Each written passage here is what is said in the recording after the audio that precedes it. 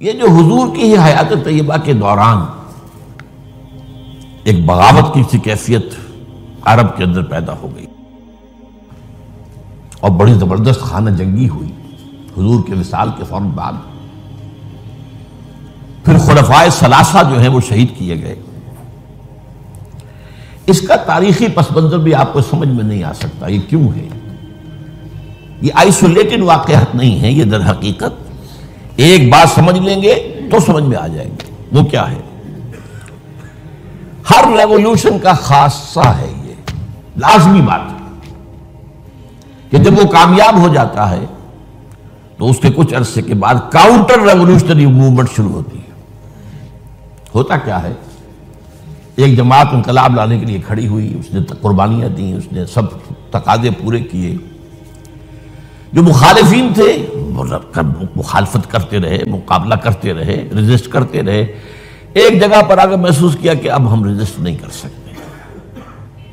It's no use continuing resistance लिहाजा सर झुका लो भाई। मैं कहा करता हूँ इसको पंजाबी में जो कहते हैं, नीवी पाओ इस वक्त जो है, सर झुका लो।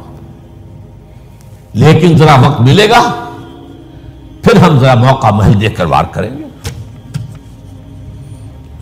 ये हर रेवोल्यूशन का खासा है, हर रेवोल्यूशन का।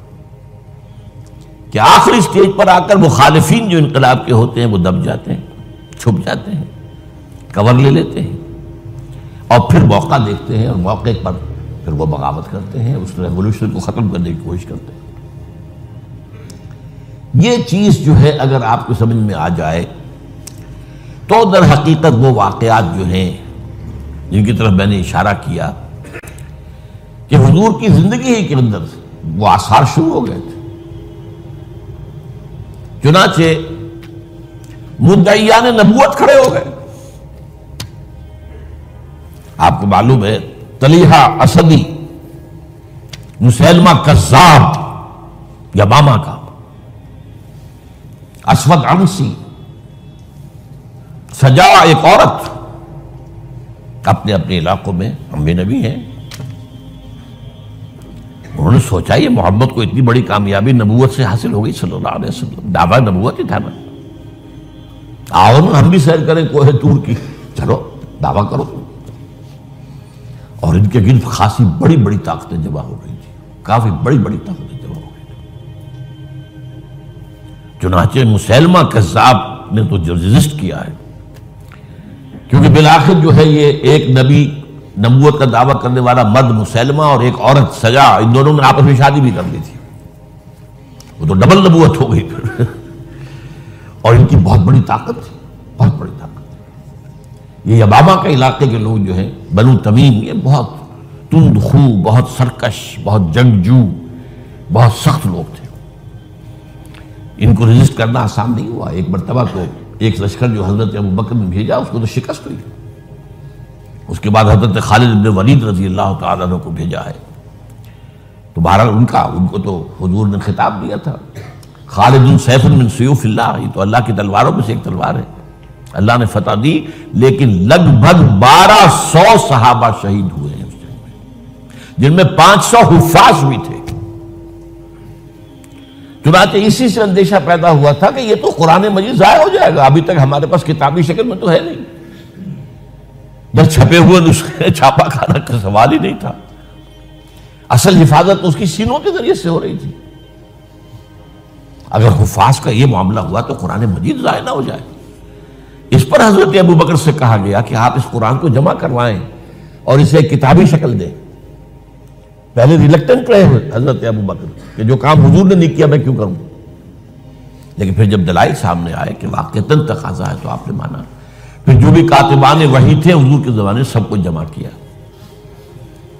और जैद इबन साबित रज़ी अल्लाह तु को उनका जो है चेयरमैन बनाया उस कमेटी ने फिर जिस, जिसके पास कुरान मजीद लिखा हुआ कुछ था, किसी के पास ऊँट की जो ये स्कैपुला होता है, ये शाने की हड्डी बड़ी चौड़ी होती है, तख्ती की तरह, किसी ने उस पर कुछ लिखा हुआ है, किसी ने कोई चमड़े के ऊपर कुछ लिखा हुआ है, किसी ने कुछ, किसी कपड़े पे लिखा हुआ है, कुछ किसी को कोई कागज़ मिल गया तो क्या ही कहने हैं।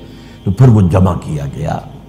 और फिर सब जो है, जो हफास भी मौजूद थे, उनके ज़रिए से फिर ये किताबी शक्ल दी गई। इस वजह से। तो ये जो एक ज़बरदस्त किस्म की तहरीक उठी थी, वो क्यों उठी? अब इसका तजिया कीजिए असल में। मैंने जो आयात आपके सामने पढ़ी क्यों पढ़ी इस हवाले से? पहली बात तो नोट कीजिए फ़ी दीन अफवाजा। जब अल्लाह की मदद आ गई और फतह हो गई और आपने देखा कि लोग अल्लाह के दीन में फौज दर फौज दाखिल हो रहे ये जो फौज दर फौज दाखिल होने का फिनोमिन है, क्या इसमें यह बात समझ में आती है कि सबके सब खालिश मुखलिस मोमिन थे?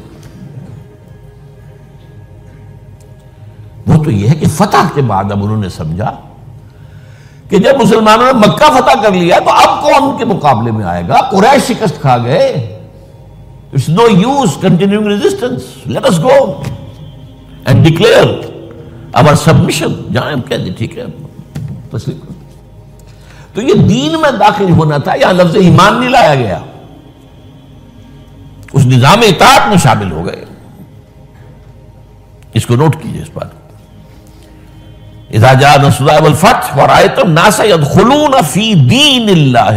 अल्लाह के दीन में दाखिल हो गए, उस निज़ाम इतात के अंदर दाखिल हो गए। और उनका समय नावातान अब हम सुनेंगे और अच्छा ये तो वो फतेह मक्का के बाद।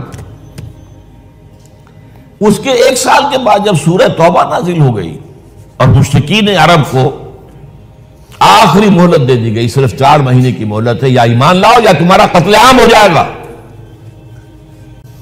इसका मैं पस मंजर कई दफ़ा बयान कर चुका हूँ। जो अरबई नबवी में हदीस आई थी, उसके हवाले से भी तफसील से बयान कर चुका अल्लाह ताला अपने रसूल जिस कौम की तरफ़ भेजता था, वो कौम अगर इनकार करती थी तो हलाक कर दी जाती थी। ये मरहला आया है अब कुरैश के लिए। या मानो या हलाकत। पहली कौमें हलाक की गई, गर्क कर दिए गए, या जलजला आ गया, या कोई बाद सरसर आ गई मुख्तलि तरीकों से। एक तरीका यह भी था कि मुसलमानों के हाथों कतल कर दिए जाए जो मैंने आयत आपको सुनाई आयत मतलब पाँच छह सुने तोबा की। फैजल अब ये जो चार महीने की इनको मोहलत दी जा रही है जब ये ख़त्म हो जाए तो है मुसलमानों फ़ख्तुलमशरकिन है सुबजत तुम अब कत्ल करो इन मुशरकों को जहाँ कहीं भी पाओ। वह खजूर पकड़ो इन्हें। वह शुरू उनका घेराव करो, मुहासरा करो। वह कौदूल बरसद और हर जगह घात लगाकर बैठो इन्हें गिरफ़्तार करने के लिए। फ़ैन ताबू व अकामसलाता फ़खल्लू सबीला फिर वो अगर तोबा कर ले, अपने शिरक से बाज आ जाए और फिर वो नमाज़ कायम करें और जक़ात अदा करें तो उनका रास्ता छोड़ दो। इन अल्लाह गफुर रहीम, अल्लाह गफुर रहीम। अब इसका तजिया कीजिए, जो लोग इस थ्रेट के तहत ईमान लाए हैं, उनमें तो ज़ाहिर बात है, गालिब अक्सरियत उनको होगी कि जो दिल से ईमान नहीं लाए तो जान बचाने के लिए ईमान लाए। ऐसे भी लोग थे, तारीख से मालूम होता है कि जिन्होंने इस प्रेशर के तहत ईमान इस्लाम कबूल करने से इनकार कर दिया, वो अरब छोड़कर चले गए।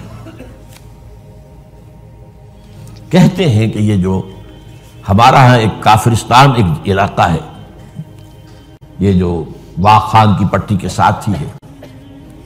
और उसके साथ मिलता हुआ एक सूबा है नूरिस्तान, अफ़गानिस्तान में। ये एक कौम है उनका कहना यह है कि हम उन लोगों में से हैं कि जो इन आयात के नजूल के बाद जो अरब छोड़कर बाहर गए कि हम नहीं मानेंगे इस्लाम। फिर जैसे जैसे हम पढ़ते गए, पीछे पीछे इस्लाम भी आ रहा था। फतवात हो रही थी। तो आगे आगे हम पीछे पीछे इस्लाम। यहाँ तक कि हम आकर हमारे आबाद इन पहाड़ों में आकर उन्हें बना ले ली।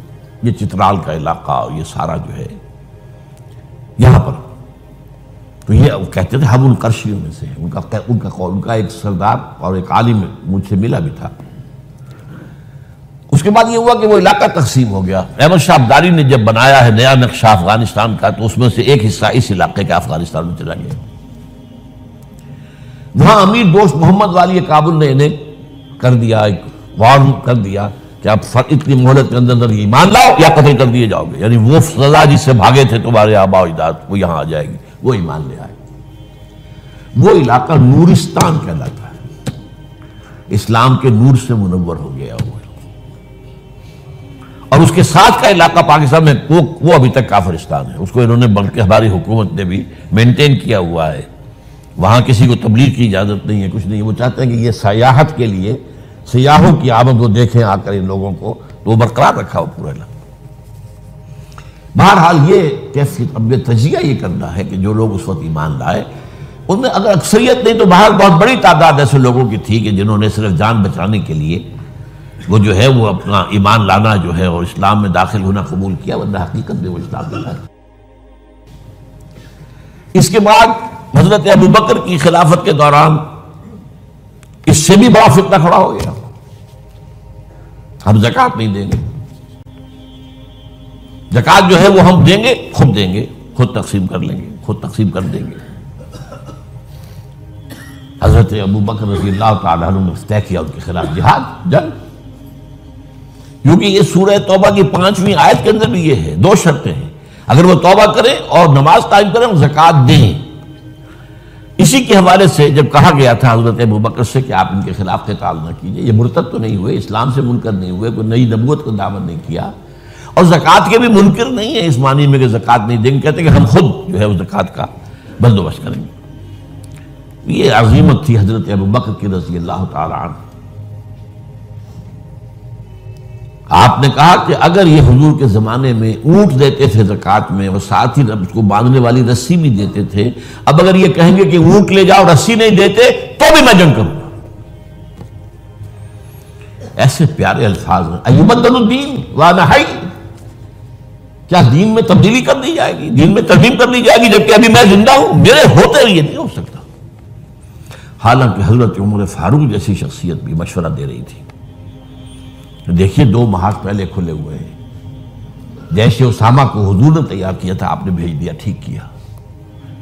फिर जो नबी नबूत के दावेदार तो खुले मुर्तद हो गए। उनके खिलाफ जिहाद तो बिल्कुल ज़रूरी था। अब तीसरा, ये महाज न खोले। अभी मुसलमानों के दिल वैसे जख्मी है। हजूर के इंतकाल के बाद मोराल जो है मुसलमानों का गिरा हुआ है। लेकिन ये अजीमत थी हज़रत अब इसको यूँ समझिए, जरा तारीखी एतबार से तजिया कीजिए। इस्लाम की फतह का मतलब मजहबी एतबार से किसकी शिकस्त थी? और सल्तनत के एतबार से किसकी शिकस्त थी? उसी से पता चलेगा कि काउंटर रेवोल्यूशनरी मूवमेंट्स वहीं से आएँगी। इस्लाम के गलबे का मतलब था शिर का खात्मा।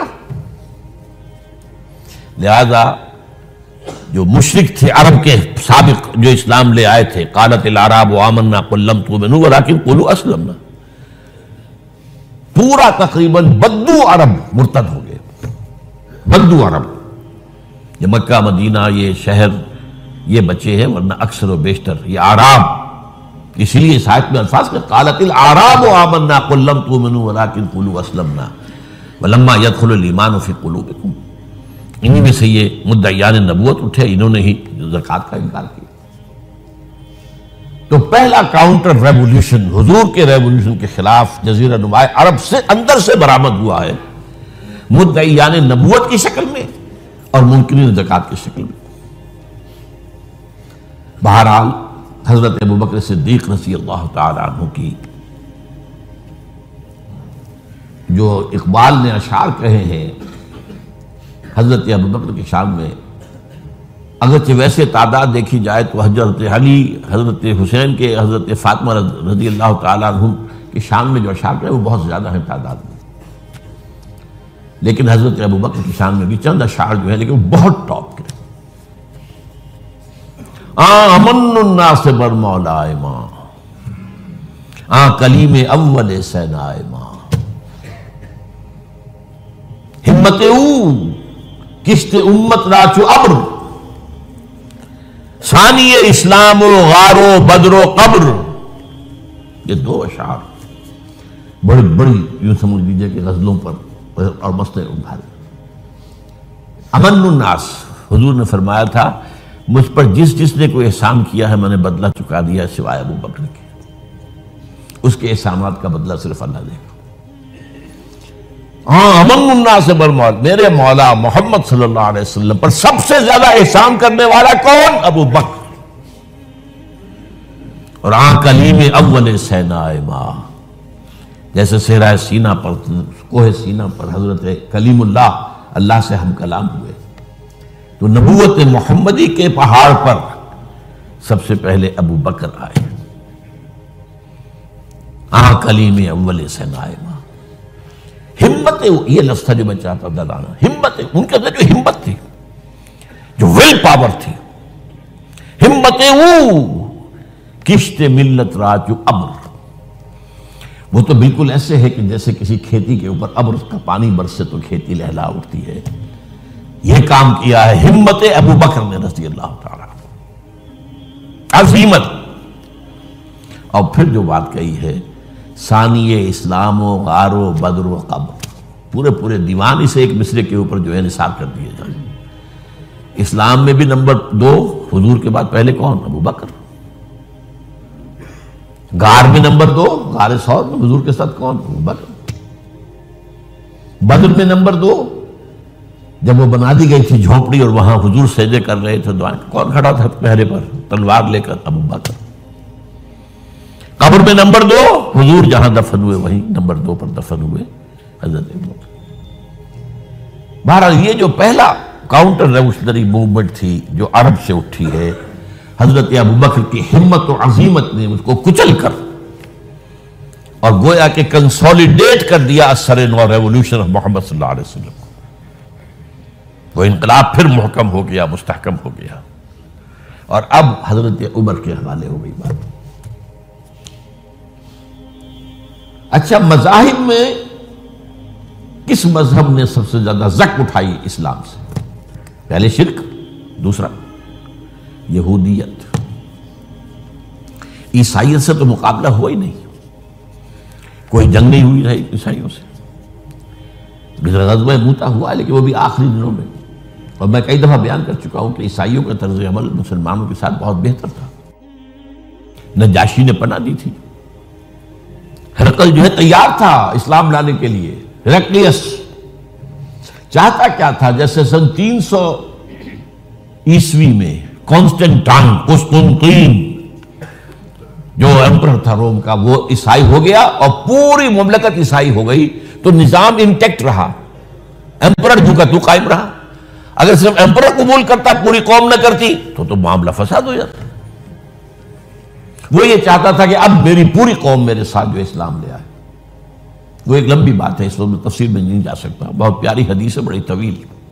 तो उसका मुकालमा है, जो कि उसने अबू सुफियान से उस वक्त तक ईमान वो नहीं लाए थे। जब हुजूर का खत पहुँचा हरकल के पास तो उसने कहा, कहीं कोई अरब के कोई लोग आए हुए हैं, आसपास कोई ताजिर आया करते थे वहाँ। मानो वहाँ एक कबीला आया हुआ तो उनमें वो अबू सुफियान कबीला लेकर गए हुए थे, उनको बुलाया गया। बहरहाल, वो एक लंबी बात है, हदीस है मौजूद, बुखारी के। यहूदियत की कमर टूटी। तीन उनके कबीले थे बड़े जोरदार, वो मदीने से निकाले गए। एक कबीले के तो तमाम जवान मर्दों को कत्ल किया गया। फिर उनके मज़बूत किले थे खैबर के इलाके के अंदर। फिदक और ये इन सब में से निकाला गया। तो जो एग्रीव्ड पार्टीज़ थी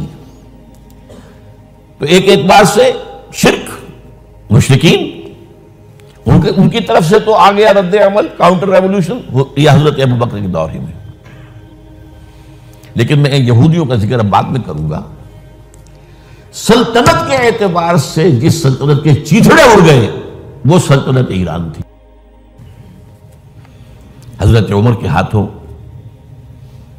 तो खत्म हो गया नस्यम मनसिया सल्तनत रोमा उसकी सिर्फ़ एक टांग टूटी थी तीन में से। वो तीन ममलक, तीन वर्र आजमों पर फैली हुई सल्तनत थी, Roman empire. Eastern Europe, northern Africa, western Asia. Western Asia में शाम और तुर्की का इलाका। शाम लिया गया उससे, बाकी तो उसके पास रहा। मशरक़ी यूरोप भी रहा शुमारी अफ्रीका भी रहा वो रफ्ता रफ्ता बाद में जो है गया। लेकिन यह कि असल में जो है पहला पहले मरहले में उसकी एक एक टांग टूटी। एक ईरान का खात्मा हो गया। और ईरानी बे इंतहा नस्ल परस्त उनमें अपनी रेश, रेशियल सुपीरियोरिटी का बहुत एहसास है नस्ली बरतरी का। अपनी तारीख पर बहुत नाज है, शहनशाहियत की तारीख, जो कै खसरों से शुरू होती है, साइरस से, फिर डैरियस जैसा अजीम फातेह। बड़ी अजीम तारीख है ईरान की, इसको यूँ समझिए मामूली शहर नहीं है ईरान। बहुत अजीम तारीख और कई सौ बरस तक तो सारा मामला जो है, जिसे आप वो सी सौ कहते हैं तो ये दो सुपर पावर्स नहीं है, ईरान और रूम, ईरान और रूम, ईरान और रूम। कभी ईरान गालिब आ गया, रूम बैठ गया, कभी रूम गालिब आ गया ईरान बैठ गया। कुरान मजीद में एक पूरी सूरत जो है, सूरह रूम के नाम से है कि नहीं?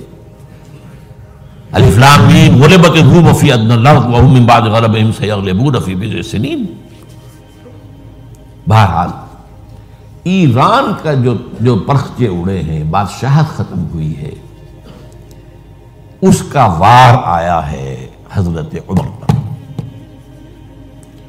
यह चूँकि हुआ हज़रत उमर के हाथों। लिहाजा ईरानियों के नज़दीक मबूज तरीन शख्स हज़रत उमर और हज़रत उमर से नफरत उनकी जिमिलत के अंदर है। उनके जीन्स में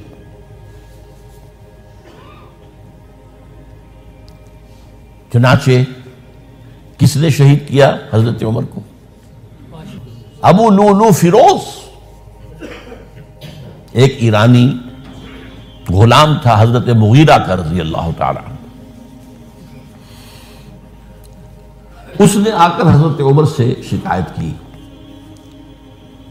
कि हज़रत मुगीरा जो है, उनसे मुकातबत मैं कर रहा हूँ, वो मुझसे बहुत ज़्यादा पैसे मांग रहे हैं। मुकातबत ये थी कि गुलाम तय कर लेता था कि मैं कमाई करके तुम्हें इतने पैसे दे दूँगा तो मुझे तुम आज़ाद कर देना। मुकातबत कहलाता था।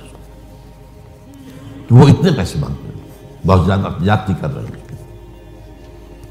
हज़रत उमर ने पूछा कि तुम क्या क्या काम जानते हो? उसने गिनवाया मैं ये भी जानता हूँ, ये भी जानता हूँ, ये भी जानता हूँ। मैं तरखान भी हूँ, मैं फलां भी हूँ, मैं चक्किए भी बनाता हूँ, मैं ये भी करता हूँ। तो फरमाया कि फिर तुम पर ये ज़्यादा नहीं है जो जो मुगीरा तुम्हारे ऊपर, जिस कदर रकम डाल रहे हैं ज़्यादा नहीं है। और देखना, मुझे एक चक्की बनानी जानते हो तो एक चक्की मुझे भी बना के देना। आपको तो मैं वो चक्की बना के दूँगा जो सारी दुनिया याद करेगी। धमकी दे गए। और हज़रत उमर ने पहचान लिया था कि धमकी दी इसने। दूसरी तरफ़ उसकी पुष्ट पर कौन था? हुरमजान। ये एक बार जर्नैल था, ईरान। शिकस्त हुई। गिरफ़्तार होकर आया। क्योंकि बहुत बड़ा वाद क्रिमिनल था। उसको फैसला किया गया, इसकी गर्दन उड़ा दी अब इसकी चाल देखिए, ईरानी जहन।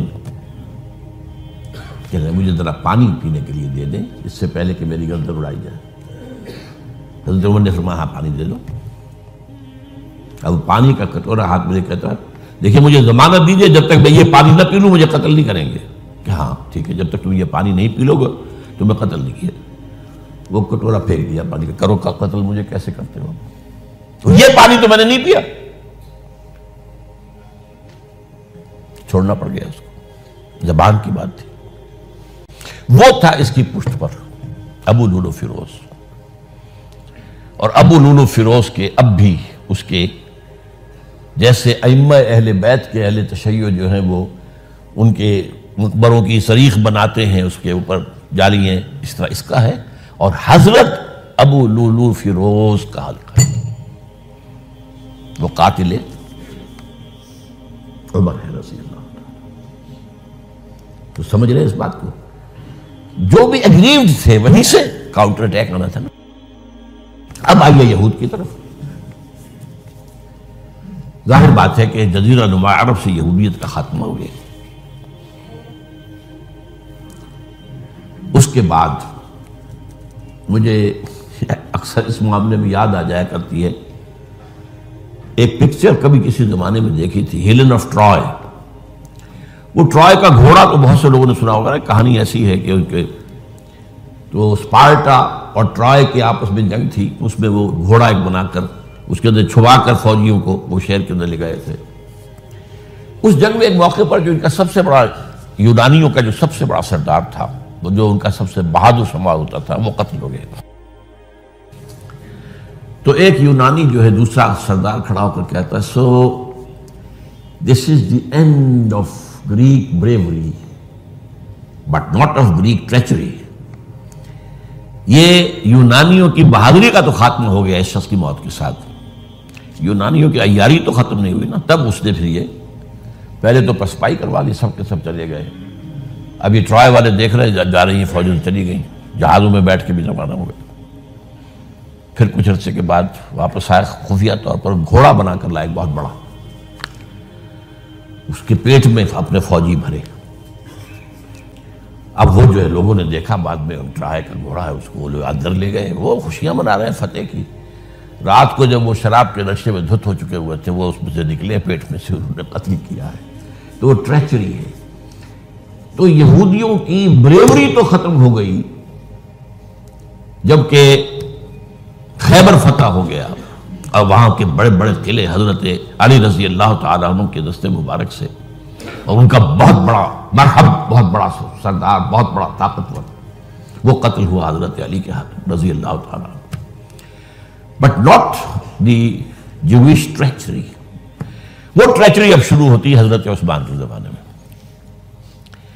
अब्दुल्ला इब्न सबा एक यहूदी है, यमन का, वो इस्लाम का लिबादा उड़कर इस्लाम में आ गया। आ गया मदीने में। यहाँ उसने उस माशरे का खूब तजिया किया। यहाँ क्या क्या चीज़ें हैं? कौन कौन सी फोर्सेस एट प्ले हैं? मैं किस दुखती रग को छेड़ सकता हूँ? मैंने महसूस किया कि बनु हाशिम और बनु उमैया की बड़ी पुरानी जो है जब तलिश और मुसाबकत एक तरह का मुकाबला कुरैश के इन दो बड़े घरानों के अंदर, ये उनकी हड्डियों के अंदर है। इसको उठाया। अब अजीब बात असल में यह है कि खलीफा अव्वल न बनु मैया में से थे, न बनु हाशिम में से। बनु हाशिम और बनु मैया का मामला था। कुरैश तो सब है। जैसे वट्टू बहुत बड़ा कबीला है उनमें माने के, लाले के शामद के, ये ये फिर एक एक शख्स के नाम से होते लाले के, कोई लाला उनमें से होगा, उसके लाले वाले हो गए। शामद कोई शाह मोहम्मद होगा, उसके औलाद जो है वो शामद के हो गए। तो ये माने के ये माने के, लाले के, ये सब क्या बटू है? तो कुरैश जो है एक बड़ा कबीला था, उसमें घराने ये थे, बनु मैया, बनु हाशिम। हज़रत अबू बकर ना बनु हाशिम में से थे, ना बनु मैया में से थे। बनु तीन में से थे, छोटा सा कबीला था। हज़रत उमर भी ना बनु हाशिम में से थे, ना बनु मैया में से थे, बनु आदि में से थे। अब ये हज़रत उस्मान थे कि जो बनु मैया में से थे। यहाँ से उसने उठाई बात। और ऐसी ऐसी बातें शुरू की। जो आवाम जो हैं, जो पूरा रसूख फिल इल्म हासिल नहीं होता, वो उसके अंदर बह जाते देखो ये कैसे हो सकता है कि हमारे नबी जो हैं, वो तो ज़मीन में दफन है और ईसा जो है आसमान पर बैठे और ईसा तो दोबारा आएँगे और हमारे नबी नहीं आएँगे आएँगे वो भी आएँगे। और हर नबी का एक वसी होता है। मोहम्मद का वसी अली है, उसे होना चाहिए खलीफा। वो बनु हाशिम में से है। बाकी जो भी खलीफा बना है, गासिम है। अबू बकर गासिम, उमर गासिम, और अब जो है, सबसे बड़ा गासिम ने गसाब कह ले उसको। वो तो बनु भैया में से, उस्मान। How come? कैसे खिलाफत इसकी? और उसने इस तक हाथ बात बढ़ाई है हज़रत अली तो खुदा है। अवतार है खुदा का। ये सारी चीज़ आज भी या अली मदद का नारा जो लग रहा है, ये वही सबाइत के असरात है। या अल्लाह मदद का नारा नहीं लगाते, या मोहम्मद मदद का नारा कोई नहीं लगाता। या अली मदद। ये सारी चीज़ें जो है, समझ गई थी हज़रत अली रज़ी अल्लाह तु के बारे में गालिब भी कहता है मशहूल हक हकुम बंदगी बूतराब में। बूतराब हज़रत अली। उनकी बंदगी करते हुए मैं असल में अल्लाह की बंदगी, मैं उनकी बंदगी करता हूँ, गोया कि अल्लाह की करता हूँ।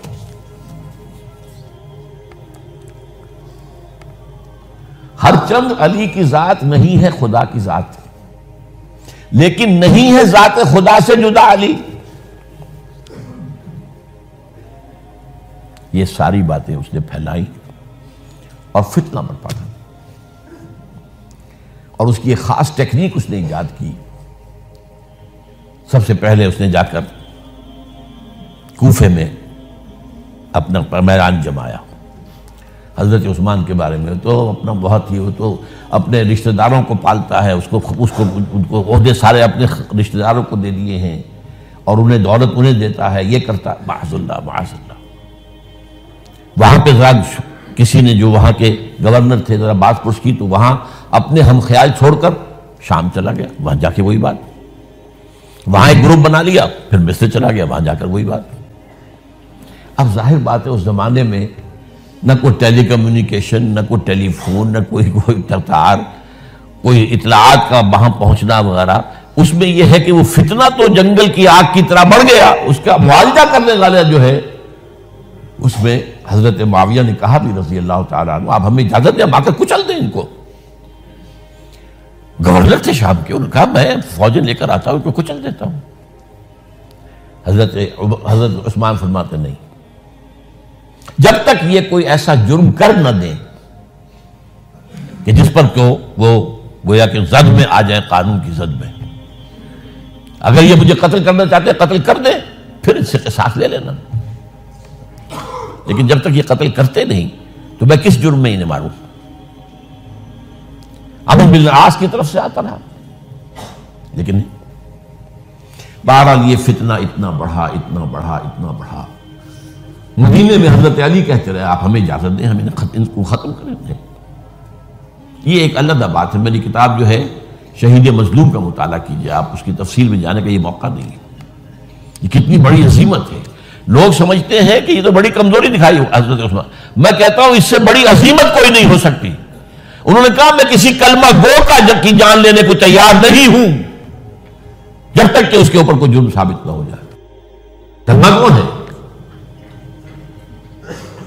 आप अंदाज़ा कीजिए, इस पर अड़े रहना, डट जाना।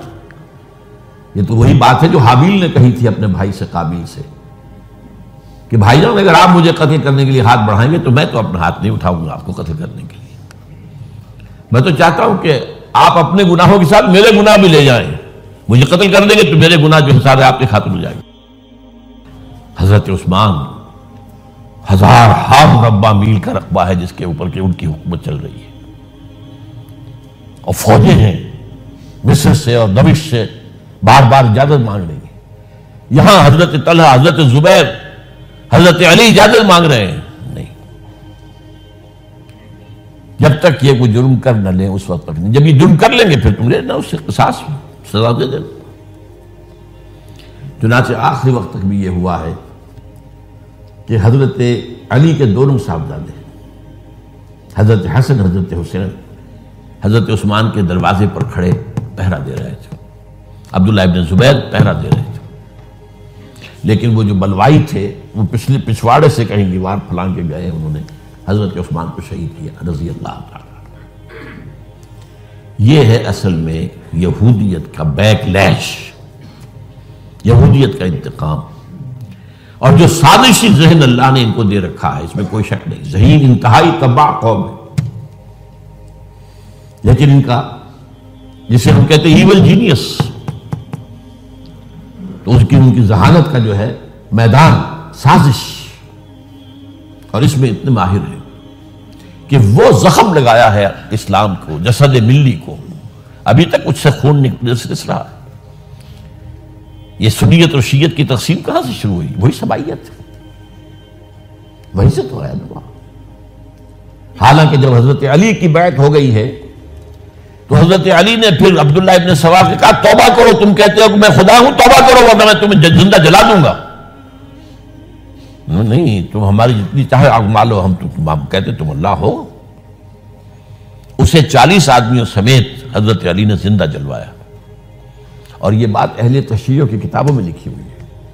बदकिस्मती से आजकल अगर कोई बात की जाती है अब्दुल्ला इब्न सबा के खिलाफ तो वो समझते हैं कि ये शीयत के खिलाफ बात हो रही है। हज़रत अली ने तो खुद उनकी अपनी किताबों के मुताबिक अब्दुल्ला इब्न सबा और उसके चालीस साथियों को ज़िंदा जलाया। तू खुदा है? तो हमें आजमा रहा है वनबलवन्नकुम बिशैइन मिनल खौफ वल जूअ व नक्स मिनल अमवाल वल अनफुस वस समरात बस उसी तरह हमारी आजमाइश कर रहा है